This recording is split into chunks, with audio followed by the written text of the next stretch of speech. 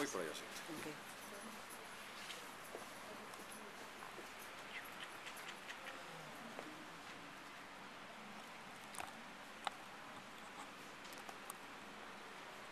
Hay algunos temas que son recurrentes en casi todos nosotros.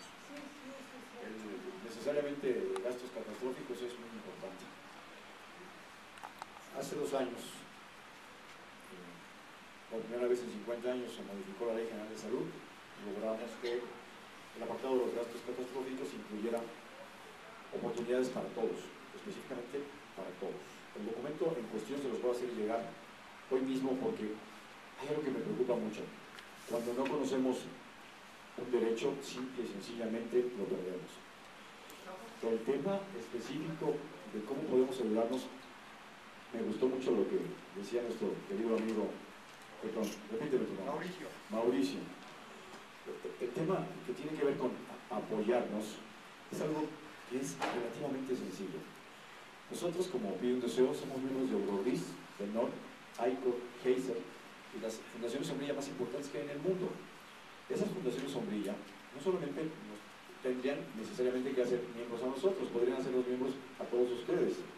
Es increíble que Eurodis solo tenga un representante en México. Orgullosamente somos nosotros, pero no es por ninguna razón en especial, es porque los otros quizá no han hecho lo conveniente para estar dentro de Eurodis. Eurodis es la fundación sombrilla más importante que hay en el mundo para todas estas enfermedades raras. Tienen proyectos, tienen planes, tienen estructura de servicios impresionante, la Orfanet prácticamente es de ellos. Conocen todas las enfermedades raras, hasta el momento 6.722, de las cuales solamente 500 tienen en promedio tratamiento, las demás hay consideraciones específicas que podríamos observar a través de sus informes que pueden, por supuesto, crear un ámbito de certezas para todos nuestros enfermos. Entiendo que en México ahora mismo la Organización para las Enfermedades Raras y la FEMIXER, que es básicamente lo mismo, están haciendo un trabajo que desafortunadamente hasta el momento, y digo hasta el momento porque a partir de hoy va a ser de otra manera, no nos hemos puesto de acuerdo. Lo que yo les propongo, digamos que como punto inicial en, este sentido es, eh, estamos nosotros por crear lo que hemos dado el llamar el faro de información, que va a ser una red neuronal de atención para información de todas las asociaciones que existan en México y déjenme decirles que desafortunadamente somos muy pocas las que estamos establecidas de manera legal con recursos que nos hacen independientes y que por supuesto son necesarios para todos nuestros trabajos. Esta iniciativa de ISTE es tan importante no solo por el hecho de que nos reúne, sino por el hecho de que nos pone a disposición una serie de recursos que ellos tienen y que pueden ser absolutamente benéficos para los trabajos que hacemos. El asunto de gastos catastróficos hay que explicarlo de manera puntual para que entendamos a qué tenemos y a qué no tenemos derecho. Nuestra querida amiga que acaba de hablar de la hemofilia, arquitecta, comentó, nos tardamos seis años en meter hemofilia al Seguro Popular. Nosotros hicimos, conozco bien el, tema, la, asociación, la Federación de Hemofilia es una federación muy visible. Nosotros estuvimos con Salomón buscando que pudieran entrar las enfermedades lisosomales. Finalmente lo logramos.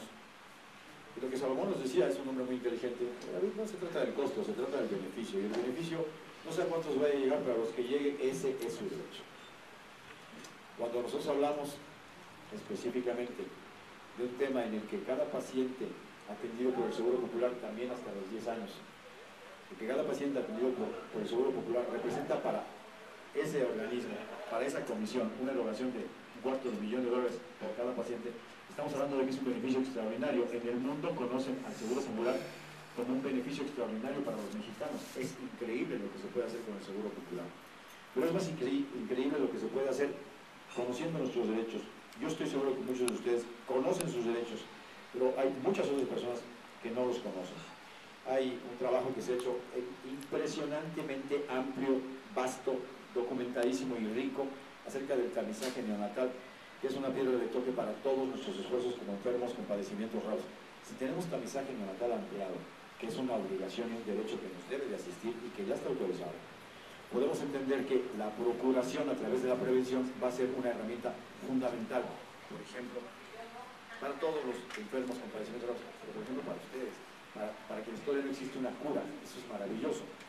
Ese asunto específico del tamizaje neonatal debemos de tratarlo en una reunión amplia, muy amplia, que nos permita la participación de todos. Eso sería enormemente importante. La correlación de fuerzas a través del cambio de paradigmas es muy importante.